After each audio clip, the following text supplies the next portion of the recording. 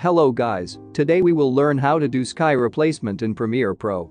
So watch the tutorial until the end. First, separate the clip where you want to do your sky replace. And drag your clip up. Now, go to the effects panel and search for the color key. And apply the color key to your clip.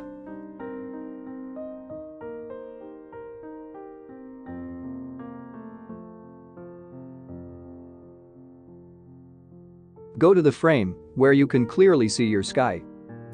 Now, select the pen tool and mask out the sky.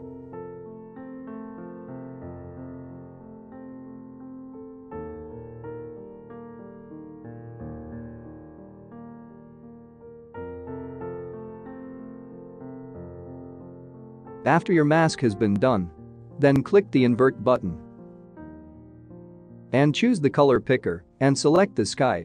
Then increase the color tolerance until your sky is fully black.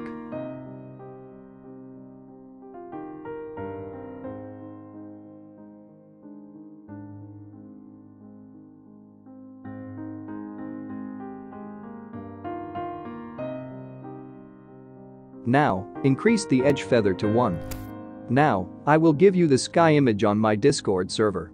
So download the image and drag the image below your clip. And here is your half work done.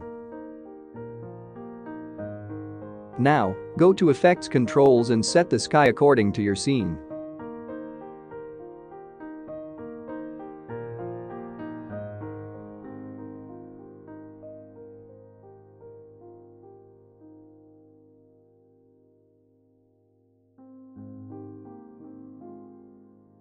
Now, go to the first frame and enable the keyframe on position and go to the last frame then set the position amount you like.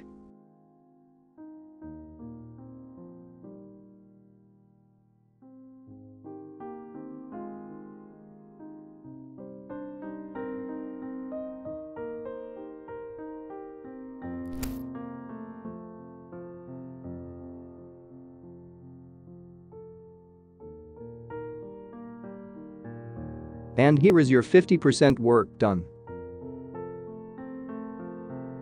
Now, make an adjustment layer.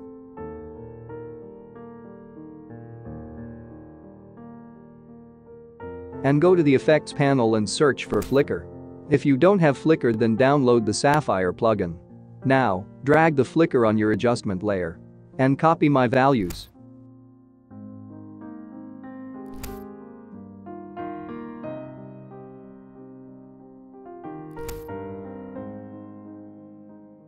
Now, make a new adjustment layer and apply my color correction preset on the adjustment layer. If you want a free preset of this color correction then watch my previous tutorial. You need Magic Bullet looks to run this preset.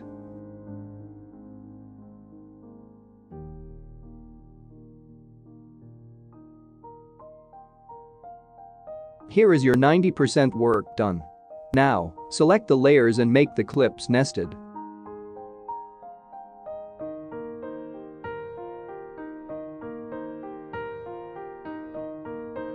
Now, render the preview. And here is your final result.